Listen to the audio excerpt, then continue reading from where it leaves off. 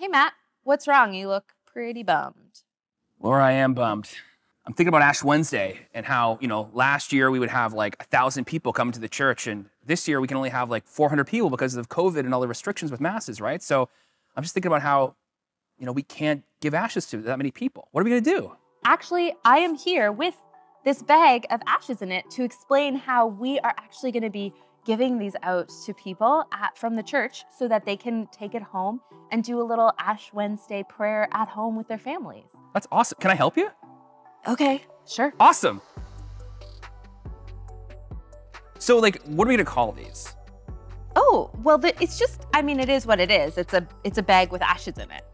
Okay, but I had, I'm in this moment. I'm thinking of like maybe some other things we could call it instead. So, okay, you want to market it? Oh, kind of. I mean, it's a little bit, you know, a little bit of branding Uh, All right, goes a long way. I me your- think. give me your ideas. Okay, just off the top of my head, just kind of free flowing kind of thing, no wrong answers kind of idea here. Okay, what about um, Ash Bundle? Um, Lent to Go, uh, Uber Ash, um Cinder Bag, Cinder Sack, big old bag of black dust. I mean, those you your creative genius is at work again, Matt, but we don't need to be like too fancy with this. This is more about prayer and um, so we're just gonna call it what it is. It's some ash in a bag.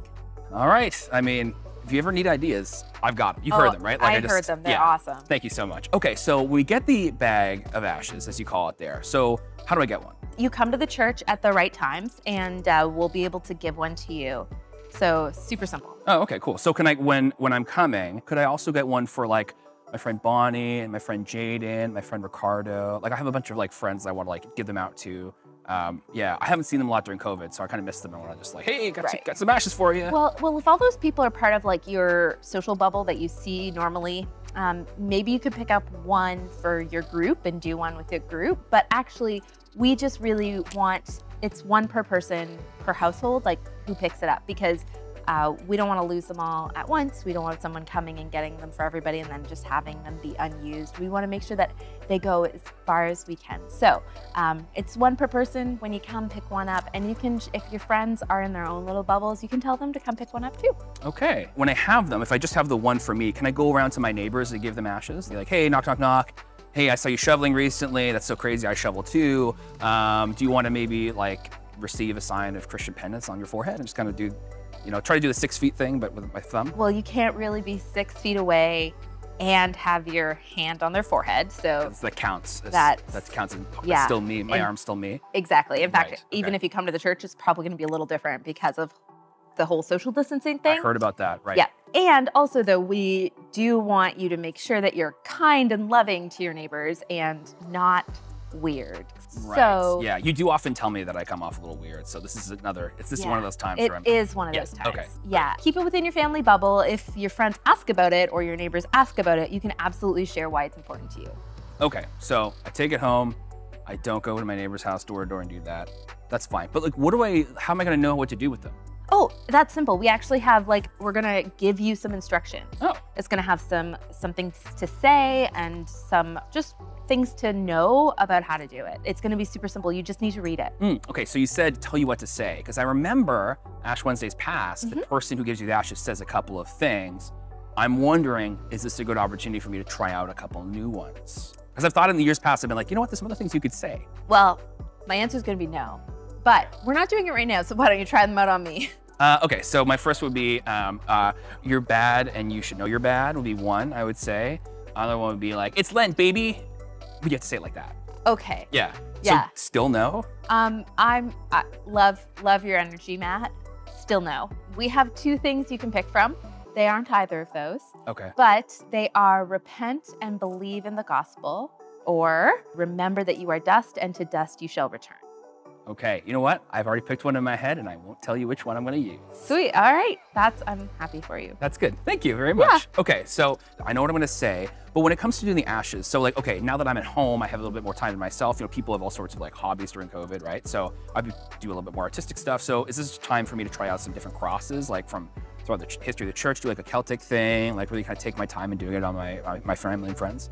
Okay, now I'm really thinking it's not the right idea. I mean, I mean, good try, Matt. I really appreciate your creative spirit. I really do. But this isn't about you. It isn't about how amazing your cross can look. It is actually about something totally different. It's a little bit of a of a of a somber time, of a time for us to recognize where we fail, where we don't measure up. And so try not to just show off your creative skills on other people's foreheads in this moment. You just have to do a simple cross. Okay. Yeah. So just like down and across. Yeah, or cross and down. Does it matter or if I do left or right? And no, Oh, no. okay. That's good. it doesn't matter. Okay, good. So I know what to say. I know how to do it. So when I get the ashes on my forehead, kind of just like, like, boom, I got my ashes. Great. Go wash them off and then just like continue with my day. I would actually encourage you to keep it on all day. Oh.